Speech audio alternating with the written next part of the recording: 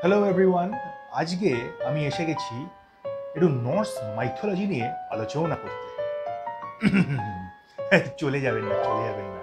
Norse mythology মানে basically মার্ভেলের লোকে নিয়ে কথা বলব, আড্ডা মারবো। এবারে নর্স মাইথোলজি টালজি বললে আবার লোকে একটু বেশি শিক্ষিত শিক্ষিত হবে তো, তাই ওটা বলে ফেললাম আর কি। সেটা ব্যাপার না। আমরা ঠিক করেছি, এরকম কিছু এপিসোড আমরা আরও নিয়ে আসব মার্ভেলের কিছু ওয়েব সিরিজ আর সিনেমা নিয়ে। এগুলো শুনতে হলে আপনাদের যেটা করতে হবে সেটা হচ্ছে আমাদের চ্যানেলের ঘন্টিটা বাজাতে হবে আর আমাদের চ্যানেলটাকে সাবস্ক্রাইব করতে হবে। না হলে লোকিকে লেলিয়ে দেবো। হ্যাঁ হ্যাঁ একদম। লোকি গিয়ে রগড়ে দেবে। I'm 10 steps ahead যাই হোক এবারে প্রসঙ্গে ফিরি। আমরা সবাই জানি যে ডিজনি প্লাস হটস্টারে আমাদের লোকির দুটো এপিসোড অলরেডি রিলিজ করে গেছে। থার্ড এপিসোডটা এই সপ্তাহে রিলিজ করবে। ফার্স্ট এপিসোড আর সেকেন্ড এপিসোডটা বিশেষ করে একটা পুরো একদম আমাদের পুরো ফ্ল্যাট করে দিয়েছে। আমার দেখে সেরা লেগেছে এপিসোডটা কেভিন ফাইগি যে কিনা মার্ভেলের হত্যাকর্তা, সে বলেছিল, এই লোকি ওয়েব সিরিজটা মার্ভেল সিনেম্যাটিক ইউনিভার্সকে আমরা যে চোখে দেখি, আমাদের অন্যরকমভাবে ভাবাবে বা একটা অন্য পার্সপেক্টিভ দেবে। আমারই একটা বন্ধু অভিরূপ আমাকে বলছিল যে অলরেডি কিন্তু সেটা এস্টাবলিশ হয়ে গেছে। সেটা কিন্তু অলরেডি এস্টাবলিশ হয়ে গেছে। হ্যাঁ মানে ও তো টাইম লাইনে আলাদা গেছে। তো সেই ব্যাপারটা নিয়েই বলি যে দু হাজার বারো সালে যখন ব্যাটেল অফ নিউ ইয়র্ক হলো, সেটা প্রায় হচ্ছে গিয়ে ওই নবান্ন অভিযানে গিয়ে জল ছোনার মতন জলকামান ছোনার মতন যেখানে বেগুনি রং মাখিয়ে দিয়েছিল। এখানে অ্যাভেঞ্জার্সদের মানে অ্যাভেঞ্জার্সরা বেগুনি রং টং মাখায়নি। যাই হোক, ওই ওই থ্যানোসের আর্মি টার্মিকে একদম পুরো ফ্ল্যাট করে দিয়েছে। তো ওই নবান্ন অভিযানে মানে নিউ ইয়র্কের নবান্ন অভিযানে মানে এন্ড গেমের সময় লোকি একটা অল্টারনেটিভ রিয়েলিটিতে চলে এলো, ঠিক আছে? এর ফলে যেটা হলো, যদি এটা না করতো, করে আসতো, তাহলে স্টিভ রজার্স আর আয়রন ম্যানকে স্টিভ রজার্স আর টনি স্টারকে সেভেন্টিজে যেতে হতো না। সেভেন্টিজে যদি যেতে না হতো, তাহলে কিন্তু স্টিভ রজার্স পেগি কাটারকে দেখ মানে পেগি কাটারের সাথে দেখা হতো না বা দেখ- দেখতো না। এবং সেটা যদি না হতো স্টিভ রজার্স বান্টুমি করে ওই ঢাল তলোয়ার রাখতে গিয়ে পেগি কাটারের সঙ্গে থেকে বুড়ো হয়ে আসতো না এবং যার ফলে ফ্যালকান শিল্ড পেত না এবং Falcon and the winter soldier এই সিরিজটাই হতো না। সুতরাং এটা বোঝা যাচ্ছে এটা হচ্ছে ক্যাপিটালিস্ট আমেরিকার, মার্ভেলের একটা ক্যাপিটালিস্ট চাল। ঠিক আছে? সে প্রসঙ্গে, সে প্রসঙ্গ থাক, এটা একটা অন্য বিষয়, অন্য দিন মানে অন্য দিন হবে আর কি। কিন্তু লোকির সিজন টুতে আমরা লোকি, গোটা ব্যাপারটা তো পুরো ম্যাজিক হ্যাঁ? লোকি এটা একটা দুষ্টুমির দেবতা। এটা কি? এটা দুষ্টুমি করছে, সেটা কি দেবতা? যাই হোক মানে আমাদের এখানে যদি দুষ্টু পলিটিশিয়ানরা চেয়ার টেয়ার দখল করে, তাহলে ওদের দেবতা হয়েছে। মানে যদি আমি নর্থ মাইথোলজিতে আমি ফিচার করতাম, আমাকে দেবতা বানিয়ে দিত ওয়াটার অফ ইন্ডিয়া যাই হোক। তো সেখানে আমরা শেষের দিকে দেখি কি, আমরা শেষের দিকে দেখি লেডি লোকিকে মানে যেটা দেখে বোঝা যাচ্ছে অ্যাটলিস্ট যে লেডি লোকি সোফিয়া ডি মার্টিনাকে আমরা দেখছি। ওটা লিখে রেখেছি এটা ভুলে যাই। তার জন্য মেমোরি লসটা আটকানোর জন্য লিখে রেখেছি লিখে রেখে পড়ছি। তো আমরা সোফিয়া ডি মার্টিনাকে দেখি। কিন্তু যখন লোকি তাকে লোকি বলে সম্বোধন করে হ্যাঁ মানে পুরো আয়না মানে কি স্পুকি একটা ব্যাপার আয়নার সামনে দেখছে ছেলে ওদিকে মেয়ে। যাই হোক। তো এই লোকি টম হিডলস্টন যখন বলে লোকি তখন ওই মহিলা আবার বলে don't call me by that name. তো এইখানে যারা কমিক্স পড়েছে বা মার্ভেল কমিক্সের সম্বন্ধে যাদের আইডিয়া রয়েছে, তাদের একটা জিনিস মনে হতে পারে, তাদের একটা জিনিস মনে হতে পারে, সেটা হচ্ছে এই ক্যারেক্টারটা লেডি লোকি নাও হতে পারে। এই ক্যারেক্টারটা সিলভি লাস্থন হতে পারে। সিলভি লাস্থন সিলভিয়া প্লাথ না, তাহলে টেড হিউজেস আসবে, আর কেচ্ছা গেলেঙ্গারি হবে। আ- মানে টেড হিউজেস লোকটা খুব ভালো না। যাই হোক, সিলভি লাস্থন যে হচ্ছে কিনা second character to take the mantle of enchantress হ্যাঁ মার্ভেল মার্ভেল মার্ভেল কমিক্সের মধ্যে এবং মার্ভেল ইউনিভার্সের মধ্যে এই ক্যারেক্টারটা সিলভি, এই ক্যারেক্টারটা হচ্ছে সেকেন্ড ক্যারেক্টার যে তোর মানে মেন্টাল অফ এনচ্যান্ট্রেসটা নিয়েছিল। এবারে বক্তব্য হচ্ছে, এবারে সেটা নাও হতে পারে, এই ক্যারেক্টারটাকে আমরা এখন যেভাবে লেডি লোকি হিসেবে দেখছি মানে লেডি লোকি হিসেবে আপাত দৃষ্টিতে মনে হচ্ছে, এই ক্যারেক্টারটা সেই লেডি লোকিও থাকতে পারে। সে বিষয়ে কোনো সন্দেহ নেই। আমি আগেই বলেছি যে আমরা এখানে রিভিউ বা প্রিভিউ করতে বসিনি জেনারেল কিছু বক্তব্য নিয়ে আমরা আলোচনা করব। এই লোকিতে যেটা সব থেকে ইন্টারেস্টিং লাগছে আমার, সেটা হচ্ছে টাইম কিপার হ্যাঁ মানে কবির সুমনের একটা গান আছে, তিনটে বাঁদর। তো গান্ধীজির তিনটে বাঁদরের মতন, তিনটে টাইম কিপার ওরা বসে আছে। ওরা আবার বলছে যে, ওরা সব জানে, ওরা সব চালায়, কিন্তু সময়ের শেষটা জানে না। মানে সময়ের শেষটাও জানে না। মানে it is like it is like আমি বলব ঘণ্টা বাজালে করোনা কমে যাবে। আমি বলব মোমবাতি চালালে করোনা কমে যাবে। আমি অক্টোবর মাসে এসে বলব যে ইন্ডিয়া খুব ভালোভাবে করোনার মোকাবিলা করেছে। কিন্তু গোটা বিশ্ব ব্রহ্মাণ্ডের বৈজ্ঞানিকরা যেখানে বলছে একটা সেকেন্ড ওয়েভ আসবে, আমি সেই সময় ইলেকশন করব। আমি জানব না যে করোনা সেকেন্ড ওয়েভ আসবে। এটা এটা হচ্ছে মুদ্রা কথা। এই তিনটে টাইম কিপার এই গান্ধীজির তিনটে বাঁদর, যারা খারাপ কথা দেখে না, খারাপ কথা বলে না, খারাপ কথা শোনে না তারা এরকম ইয়ে করে। এবারে আমার বক্তব্য হচ্ছে, এই টাইম ভেরিয়েন্ট অথরিটি এই টাইম ভেরিয়েন্ট অথরিটিটা মানে কমিক্সে তো ছিল নিশ্চয়ই। এটা মার্ভেলের মার্ভেলের যে যারা এই সিরিজগুলো তৈরি তৈরি করে আর কি, তাদের মাথাতে পড়ে এসেছে। এটা লোকিতে মানে এবারে ব্যাপারটা হচ্ছে মার্ভেল টার্ভেল হচ্ছে খুব খুব সুনিপুণভাবে এই জিনিসগুলোকে একটার মধ্যে একটা এমবিট করে দিতে পারে, যেটা আমাদের বাংলা সিরিয়াল পারে না। ওরা একটার মধ্যে আরেকটা জিনিস ইয়ে করে দিতে পারে, বেশ খাপে খাপ বসে যায় ব্যাপারগুলো। এইবারে বক্তব্য হচ্ছে যে তারা যদি এটা একটু আগে জানতেন তাহলে মানে যে এই, এই- এমন একটা জায়গা যেখানে ইনফিনিটি স্টোন পেপার ওয়েট হিসেবে ইউজ হচ্ছে। ইনফিনিটি স্টোন পেপার ওয়েট হিসেবে আমার তো দেখে গুপি গুপিবাগা ফিরিয়ালের কথা মনে পড়ে যাচ্ছে। সেই যে ব্রহ্মানন্দ পাথর জমাতো পাথর হাওয়া হয়ে যাচ্ছে, পাথর উড়ে যাচ্ছে, পাথর জমাচ্ছে, ওই ওই ওই ব্যাপার মনে হয়ে যাচ্ছে ইয়ে হচ্ছে। যদি এইটা এন্ড গেমের সময় অ্যাভেঞ্জার্সরা জানতে পারতো, তাহলে স্কারলেট জনসনকে মরতে হতো না ব্ল্যাক উইডোকে মরতে হতো না। মানে সেটা আমার খুব কষ্ট হয়েছিল যখন ব্ল্যাক উইডো মারা গেছিল, কিন্তু সেটা হতো না। এরকম একটা ব্যাপার স্যাপারে। তো সে যাই হোক, এবারে ব্যাপারটা হচ্ছে তো এই টাইম কিপাররা যে এন্ড অফ টাইম জানে না, কিন্তু এরা হচ্ছে টাইম কিপার টাইম কিপ করছে এন্ড অফ টাইম জানে না। কি আর বলব, পার্থিব প্যাটেল।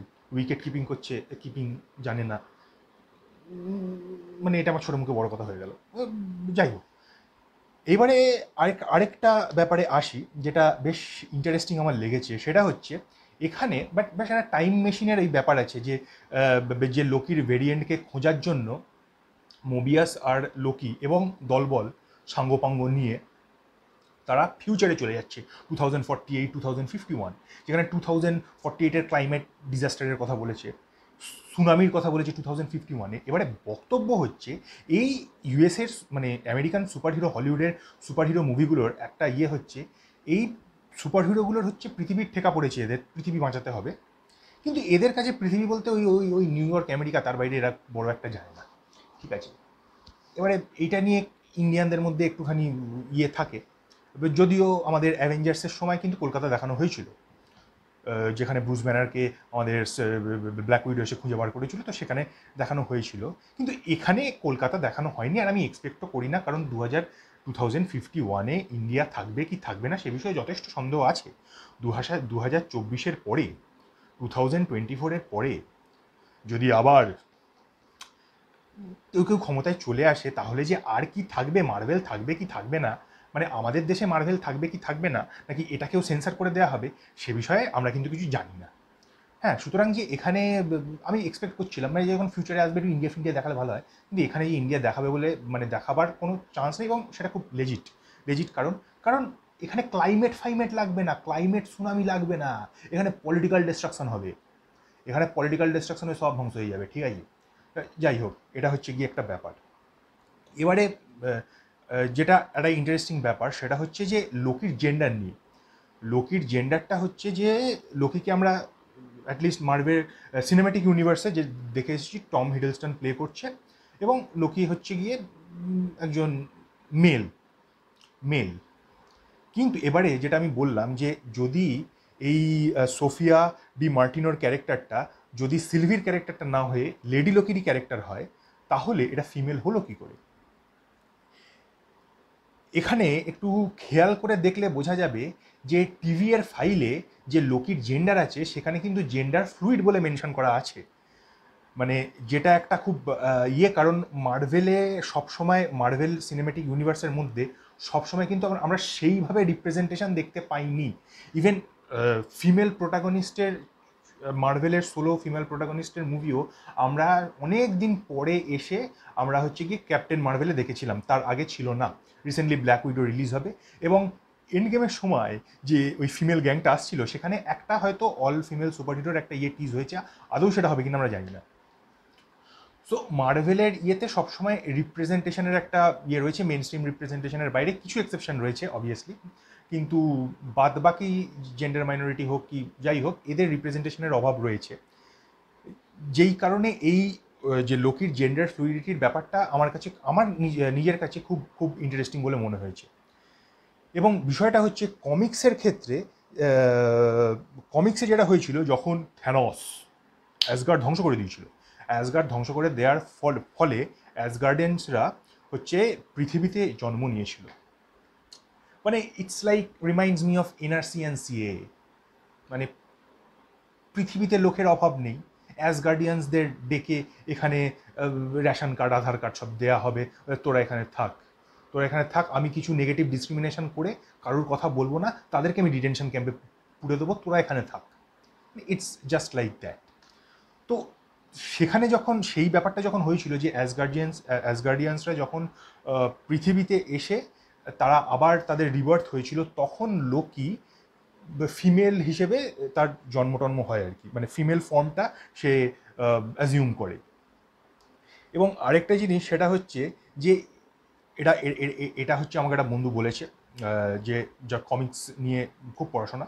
সে আমাকে বলেছে যে এই যে ফিমেল ফর্ম অফ লোকি সে ফিমেল ফর্ম অফ লোকিটা অ্যাজিউম করেছে এই কারণে যদি এইখানে যে ওয়েব ওয়েব সিরিজে যেটা ফিমেল লোকি হিসেবে দেখানো হচ্ছে বা লেডি লোকি দেখানো হচ্ছে, সে তার এই ফিমেল ফর্মটা ডন করেছে এই কারণে যে সে হচ্ছে গিয়ে she has gone through a lot of struggle and crisis এবারে মহিলি, মহিলাদের সঙ্গে নিপীড়ন, নির্যাতন, এইগুলো তো সিনোনিমাসলি চলেছে, যার জন্য কারা দায়ী সেটা আমি আর নাই বা বললাম। তো সেই কারণে একটা লেডি লোকির ইয়ে রয়েছে। এবং শেষে যেটা আমার বলতে ইচ্ছে করছে সেটা হচ্ছে যে এই যে লেডি লোকি হ্যাঁ, আমার মতো ম্যাজিক করে যে লাস্ট মোমেন্টে এপিসোড টু এর লাস্ট মোমেন্টে সব জায়গায় টাইম বোম প্ল্যান করে মাল্টিভার্স পুড়ে দিল। এর ফলে যেটা হবে এখান থেকে কিন্তু ডক্টর স্ট্রেঞ্জের মাল্টিভার্স অ্যান্ড দ্য ম্যাডনেস আর স্পাইডারম্যানের স্পাইডারম্যান স্পাইডারম্যান ওই নো ওয়ে হোম এই এই দুটোর কিন্তু একটা ইয়ে খুলে গেল থ্রেড খুলে গেল। এখন এই সব ঘটনা কিন্তু এখান থেকেই ফলো করবে। হ্যাঁ মানে বিশাল ব্যাপার যে ব্রাঞ্চ রিয়েলিটি ফিলিটি হচ্ছে। মানে আমরা এখানে বসে আছি আজকে এখানে তিনশোর ওপরে বিজেপির সেন্ট্রালের সিট আছে।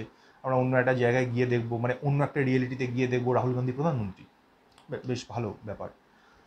তো এই করে যে এখানে যেই যেই যেই ক্লিফ হ্যাঙ্গারে গিয়ে সেকেন্ড এপিসোড এপিসোডটা শেষ করেছে সেটা খুব ইন্টারেস্টিং একটা জায়গা এবং অনেক পসিবিলিটিস আছে যেটা হতে পারে যেটার জন্য এপিসোড থ্রি এর জন্য আমরা ওয়েট করে রয়েছি। লোকির মোটিভটা কিন্তু লোকি বলেছে যে এবং লেডি লোকিকেও বলেছে যে ও টাইম কিপারদের ওভারথ্রো করে দেবে। হ্যাঁ, কার ভালো লাগে হ্যাঁ? মানে কেউ কেউ একটা হনু বসে এখানে এখানে বসে, আর সন্ধ্যাবেলা আটটার সময় এসে বলবে, ভাইও বানো ভাইও বানো তুমি আজকে মোমবাতি জ্বালাও। এটা এটা কে সহ্য করবে? কেউ সহ্য করবে না। টাইম কিপারদের কাজটা ওই রকমই তো লোক একটা সুস্থ সুস্থ মস্তিষ্কের মানুষ যে একটু কমিক্স পড়ে মার্ভেল টার্ভেল দেখে নেটফ্লিক্স অ্যামাজন দেখে, তা তার কেন ইচ্ছে করবে যে ওইখানে টাইম কিপারদের ফোপর দালালি বরদাস্ত করার? ও বলেছে, আমি টাইম কিপারদের উৎখাত করে দেবো। কী আছে? আমি টাইম কিপারদের উৎখাত করে দেবো। দরকার হলে আমি ফ্যামিলি ম্যানকে ডেকে আনব, আমি ফ্যামিলি ম্যান এটা হচ্ছে মোদ্দা কথা। তো এই গেল গিয়ে, এবং ওই- যে যেটা বললাম যে সিজন এপিসোড টু এর পরে যে ব্রাঞ্চ রিয়েলিটিগুলো হলো, সেখান থেকে প্রচুর পসিবিলিটিস আসতে পারে, প্রচুর পসিবিলিটিস হতে পারে। তো সেই সবগুলো এখন কি হয়, না হয়, তার জন্য এই সপ্তাহে বুধবার দিন আমাদের ওয়েট করতে হবে। আমরা এপিসোড থ্রি দেখব, এবং এপিসোড থ্রি দেখে এরকম কিছু ইনসাইট নিয়ে আমি আবার চলে আসব। সেগুলো নিয়ে শেয়ার হবে। ভিডিওটা কেমন লাগল জানাবেন এবং যেটা বললাম, আমাদের এই চ্যানেলটা কিন্তু সাবস্ক্রাইব করতে হবে, ঘন্টাটা বাজাতে হবে। না হলে আমি লোকেকে লেলিয়ে দেবো। ও লোকেকে লে- মানে লোকে লেলিয়ে দিয়ে আবার ওই থ্যানোসের আর্মি টার্মি নিয়ে এসে আবার ওইখানে নবান্ন অভিযান করে দেবে কিন্তু। ঠিক আছে? So long good night tata.